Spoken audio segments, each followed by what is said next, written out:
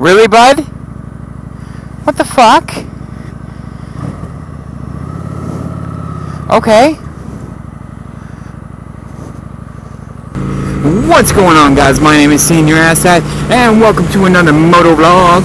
So today the reason why I'm making a moto vlog is to talk about the people that have influenced me into getting a motorcycle and for the people who have influenced me to start moto vlogging. Um, so basically when I started, um, actually we'll do it this way. I started wanting a motorcycle roughly when I was a kid. Um, I always thought it was awesome. They were really loud, they go really fast and back when I was a kid, you didn't have to wear a seatbelt. So, of course, back then I was a kid, didn't know any better on how well they saved me, and all that good stuff. So, that's kind of the reason why I wanted one. Plus, not to mention uh, when I came out, or when I came, when I came out, yeah, okay. Uh, when I was born, uh, Terminator 2 was actually released the same year, so I mean, I watched it growing up, and if you guys have ever seen that movie, Arnold Schwarzenegger on a motorcycle with a shotgun. All I can say.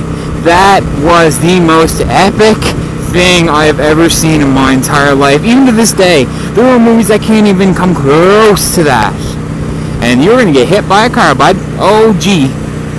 So yeah, uh, that's pretty much the reason why I've always wanted a motorcycle since I was a kid. People have influenced me. Uh, my best friend Dale got a motorcycle. He, he, had his motorcycle license for quite a while, and he just got his uh, his first bike about four or five years ago, and uh, of course I was jealous because you know I wanted one, and uh, I was too much of a pussy to go because I have this uh, terrible fear of failing. I think everybody has that, so that kind of pushed me away because some people said it was hard and all that stuff. So. Um, pretty much I watched moto vlogs, I watched people do the MSF course in the United States for months. And when I say I watched it for months, I seriously sat down and I watched videos every day for like eight hours. Just motor vlogs and just overall people riding motorcycles, just really enjoying it. So it got me really into it. Um, CycleCruza, he put out a video of uh, actually put out a whole bunch of videos really in all honesty it's kind of hard just to pick one but he picked out ones that were good for beginners and all that stuff. So I watched a lot of CycleCruza. Then I found uh, Jake the Garden Snake. And I found uh, Chase on Two Wheels. I found um, Yummy. I found a whole bunch of big people. Obviously, you guys know those names because they are very big. Those are like the juggernauts of uh, of motovlogs. So, um, really, when I got into motovlogs, I I wasn't so much looking for the big guys anymore. I was looking for the small guys, the guys that I personally could relate to, because you know, I mean, you can relate to Chase and Jake and all of them because they're still human, but yeah, it's kind of different when you have a couple hundred thousand people compared to a couple hundred, right? So I found people like Steve Light, who is here in Canada. I found Six Foot Four Honda. He's a big guy as well. Uh, that was a literal thing and also a physical thing because that man's fucking huge. Um, so yeah, I found those guys. Those guys are both in Canada, and just watching people from where you live in the same country, that's really exciting. Because you, we watch people that are down in the United States, and that's pretty much all they are. That and uh, that in Australia. I watched Leadpin. Fuck that man. I love him so much. And also Leadpin, if you ever see this, definitely, man. Uh, I watched all your videos about when you were having a hard time with a girl in Sydney, and definitely, I feel for you, man. Um, I don't really get choked up and stuff like that, but man, when I was watching your first video and you were just pulling your heart out, oh man, I have never felt so much like a little bitch, and I just wanted to reach out and give you a motherfucking hug. You know what I'm saying? So, definitely keep your head up. And those guys are running for the bus. Good stuff. I don't have to do that anymore. Fuck you guys. Fuck Metro Transit. Oh, Metro Transit. Fuck you all. Um, but yeah, I started watching off those guys. Got really into it. Um, and yeah, I just kind of took it off from there. So um, yeah, so this video was uh, I actually stole this from uh, one of the other motovloggers I watch. His name is King R1 or R1 King. I will fix that in a second. So yeah, uh, definitely go check him out. He's awesome. He just started just like Mace, but uh, he rides an R1, which uh, beat my 250 out like a little bitch. And yeah, it's just really fun to watch. He's a cool guy. and uh, definitely go check him out for sure.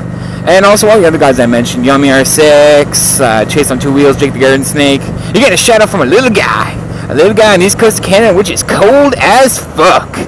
Cause it is so cold right now, I should fucking buy a pair of long johns and strap that fucker to me because holy god damn it, I can tell that fall is here. And all the trees are starting to die. That's depressing. Yeah, by my place, they're all fucking starting to wilt, change colors. I mean, it's beautiful, but at the same time, it's like a big old fashioned fuck you.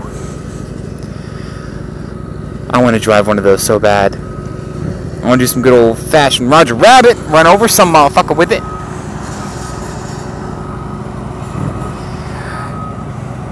Oh, guy dropped your shit. Fuck, I'm just gonna kick this fucker in neutral. I don't give a shit.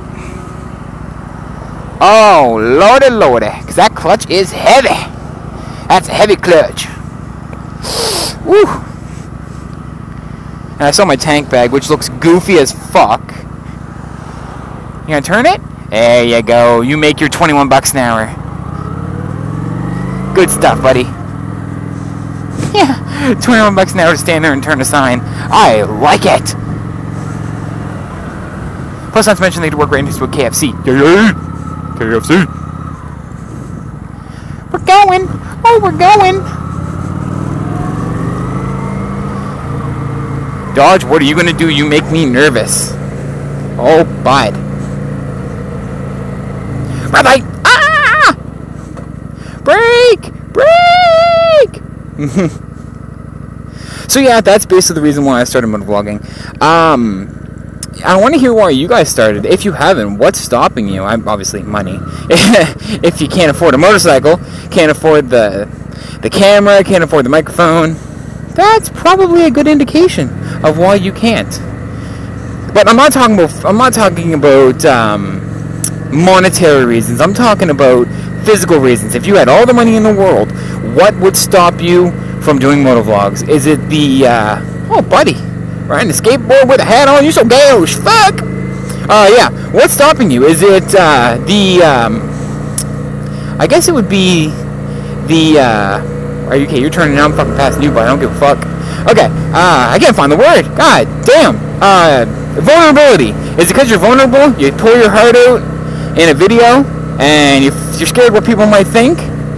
But I mean, you, you can't go through life expecting people just to, or look up and fucking expect everybody to like you and stuff, right? You got to give your opinion. Your opinion matters. So yeah, let me know what you guys are holding back from, or why. why you guys started in the first place. Oh, look at that bike. It's so pretty. So pretty. Yeah. So, oh my, fuck that pollution bot. God damn. There we go. That guy right there is practicing for skiing. Look at him. He's on the slopes now, motherfucker. Yeah, yeah. You keep going, bud. You keep doing what you're doing. Alright, guys. So, yeah, let me know uh, the reason why you guys started motovlogging or the, um, the reasons why you're not. And let's see if we can overcome them because I want to see some new motovlogs. I want to see some people that have some talent. To people talk about random shit and do random stuff. You know what I'm saying? Alright, let's go.